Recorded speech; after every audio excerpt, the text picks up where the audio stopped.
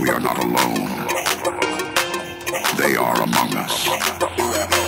As the skies light up, they believe we are blissfully unaware. But this activity by non-human extraterrestrial technology